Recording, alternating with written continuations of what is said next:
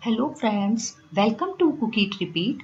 मैं ऋतु गुप्ता आज आप सभी के लिए लेकर आई हूँ बिल्कुल एक नई तरीके के नमक पारे, जो सभी को पसंद आते हैं। बच्चों को तो ऐसे डिज़ाइन बहुत पसंद आते हैं जो अलग अलग तरीके से बने हों, उन्हें जो देखने में अच्छे लगते हैं तो उन्हें खाने का भी मन करता है। तो आज बनाते हैं एक नई तरीके की नमक पारे की रेसिपी जो बहुत ही क्रिस्पी है और बहुत खस्ता और बहुत टेस्टी है खाने में। फ्रेंड्स अगर आपको मेरी ये आज की रेसिपी पसंद आती है तो प्लीज़ मेरे चैनल को सब्सक्राइब करें वीडियोज़ को लाइक करें। फैमिली और फ्रेंड्स के साथ शेयर करें। बेल आइकन को भी ज़रूर प्रेस करें। तो चलिए बनाते हैं ये खस्ता नमक पारे की रेसिपी तो इसे बनाने के लिए मैंने यहाँ पर ली है दो कप मैदा। तो आप इसके गेहूँ के आटे से भी तैयार कर सकते हैं, पर मैं यहाँ पर मैदा से तैयार कर रही हूँ। साथ ही इसमें डाला है हाफ़ टी स्पून अजवाइन हाफ़ टी स्पून नमक। नमक आप अपने टेस्ट के अकॉर्डिंग भी डाल सकते हैं। अब हम मोयन के लिए इसमें डाल रहे हैं दो बड़े चम्मच ऑयल तो मोयन इसमें बहुत ज़रूरी है मोयन से ही ये खस्ता बनते हैं। तो आप देखिए, मैंने कितना बड़ा चम्मच लिया है। तो इस तरह से बड़ा चम्मच ले, अगर छोटा है तो आप चार पाँच चम्मच डाल सकते हैं। तो अब हम इसे अच्छी तरह से रब करते हुए हाथ से ऐसे रब करें और इसे अच्छी तरह से मैदा में मिक्स कर लेंगे, ताकि इसका जो टेक्सचर है, वो आपको ब्रेड क्रम्स जैसा लगेगा। और जब आप इसे हाथ में लेंगे मुट्ठी में बंद करके देखेंगे तो ये मुट्ठी में एकदम बंद हो जाएगा। उस तरीके का हमें मोयन चाहिए। अगर मोयन परफेक्ट नहीं होगा तो आपके नमक पारे खस्ता नहीं बनेंगे। तो अब हम इसमें थोड़ा थोड़ा पानी डालकर सॉफ्ट डो तैयार कर लेंगे। हमें इसका मीडियम सॉफ्ट डो तैयार करना है। पानी हम थोड़ा थोड़ा करके ही डालें। कभी एक साथ डाल दिया तो पतला ना हो जाए आटा।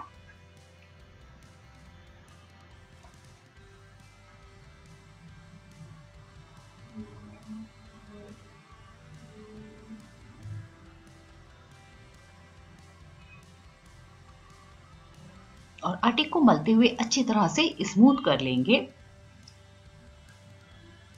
तो इसे अब हम ढककर 10 मिनट के लिए रख देंगे ताकि ये पूरी अच्छी तरह से सेट हो जाए और हमारे नमक पारे अच्छी तरह से बने।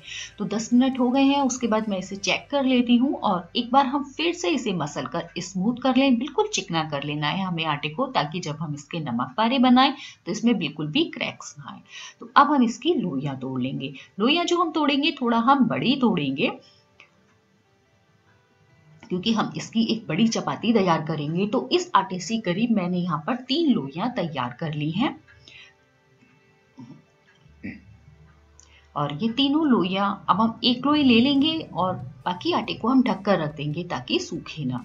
और अब हम किचन की जो टॉप है, उसी पर हम इसको बेलेंगे क्योंकि हमें थोड़ा बड़ा और बहुत पतला बेलना है। और बेलने से पहले अगर ये आटा चिपक रहा है तो हल्का सा सूखा आटा मैदा आप डस्ट कर सकते हैं। और इसी पतला बेलना है कि जो आप जिस फ्लोर पर बेल रहे हैं किचन टॉप पर बेल रहे हैं तो उस पर बिल्कुल दिखना चाहिए वो। देख सकते हैं कितना पतला मैंने यहाँ पर इसको बेला है, चपाती से भी पतला है। तो अब हम इस पर भी हल्का सा सूखा आटा डस्ट कर लेंगे। ताकि जो हम लेयर्स डालेंगे तो वो बिल्कुल भी आपस में चिपकेंगी नहीं। और हम एक बार इसे फिर से बेल लेंगे जिससे कि ये और भी पतला हो जाएगा और इसे पलट लेंगे। इधर भी हम हल्का सा सूखा आटा लगा लेंगे और उसके बाद अच्छी तरह से आटे को फैला लेंगे और एक बार फिर से इसको बेल लेंगे। ताकि ये बहुत पतला बन जाए।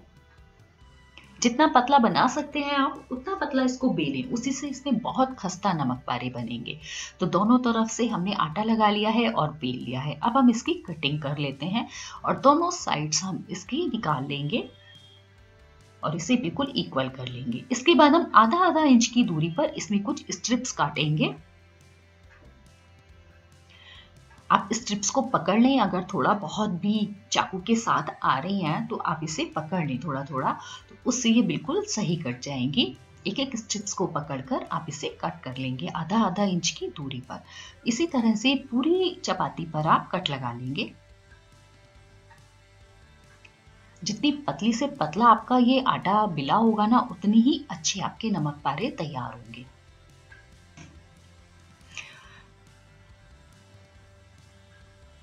तो अब ये बनाने के लिए नमक पारे, हमने यहाँ पर कुछ टूथपिक्स लिए हैं। टूथपिक अक्सर सभी के घर में मिल जाती है बहुत ही इजीली अब हम एक एक स्ट्रिप्स को उठाएँगे और हल्का सा उसे स्ट्रेच कर लेंगे ताकि जिससे ये और पतला हो जाए। अगर ये चिपक रहा है तो आप इस पर थोड़ा सा सूखा मैदा लगा सकते हैं। अगर नहीं चिपक रहा है बिल्कुल भी तो आप सूखा मैदा ना लगाएँ। लेकिन ये थोड़ा सा मेरे को चिपचिपा लग रहा है तो इसलिए मैंने हल्का सा इसमें सूखा मैदा डस्ट कर लिया है। अब इस तरह से टूथ पिक को जैसे हम धागे और सुई पिरोते हैं, इस तरह से उसे आधा आधा इंच की दूरी पर स्ट्रिप्स को इस तरह से कर लें टूथपिक के अंदर। देखिए, इस तरह से और साइड में जो छोटी सी टूथपिक दोनों तरफ़ हम छोड़ देंगे। हम एक और स्ट्रिप्स ले रहे हैं, क्योंकि इसमें आधा टूथपिक ही हमारा कवर हुआ है।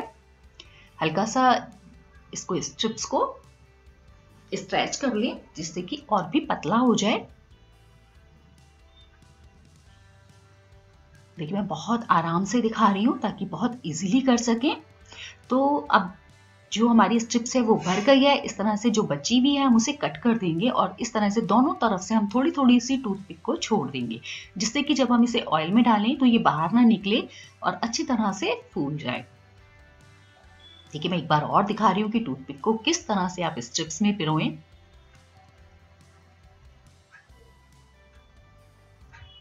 जब आप बाहर निकालेंगे तो बहुत ही खस्ता बनेंगे और एक एक लेयर आप अलग कर सकते हैं और बच्चों को तो ये बहुत पसंद आते हैं।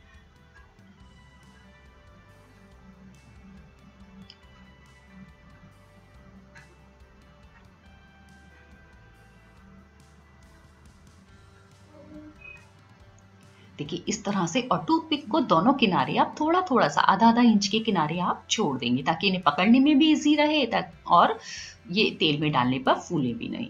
तो इस तरह से मैंने सभी स्ट्रिप्स तैयार कर ली हैं। देखिए, कितनी अच्छी लग रही हैं, बिल्कुल एक अलग डिज़ाइन है और बहुत सुंदर लगती हैं बनाने के बाद भी।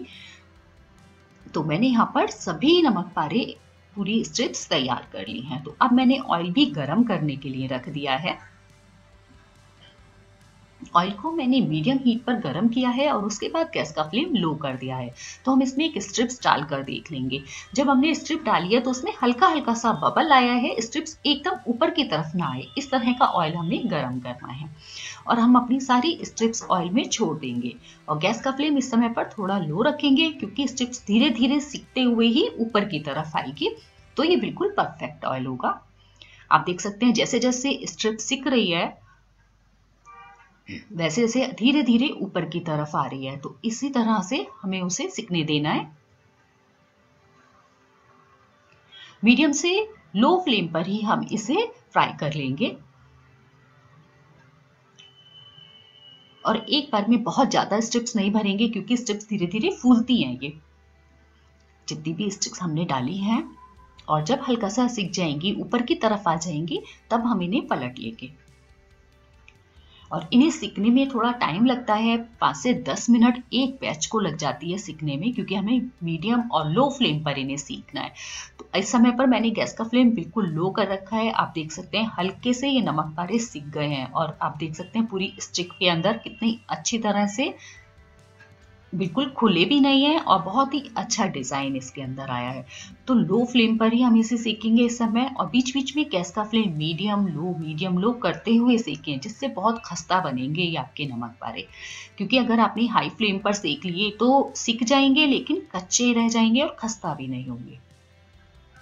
तो देखिए, इस तरह का बहुत ही अच्छा सा गोल्डन कलर ले लें इनमें और बाद में इस तरह जाली पर निकाल लें।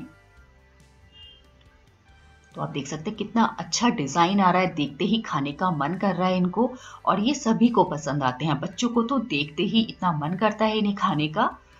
तो इस तरह से मैंने सभी नमक बारे तैयार कर लिए हैं।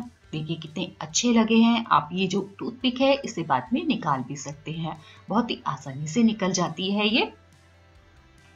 तो फ्रेंड्स अगर आपको मेरी ये आज की रेसिपी पसंद आई है ना तो मेरे चैनल को ज़रूर सब्सक्राइब करें वीडियोस को लाइक करें शेयर और कमेंट ज़रूर करें। तो मैं यहाँ पर एक स्ट्रिप आपको दिखा देती हूँ। देखिए टूथपिक बहुत आसानी से निकल गई है और आप इस तरह से एक एक लेयर अलग कर सकते हैं। देखिए, कितनी अच्छी तरह से सिका हुआ है अंदर तक। तो इसी तरह से तैयार करें तो बहुत अच्छा बनेगा और कितना खस्ता है।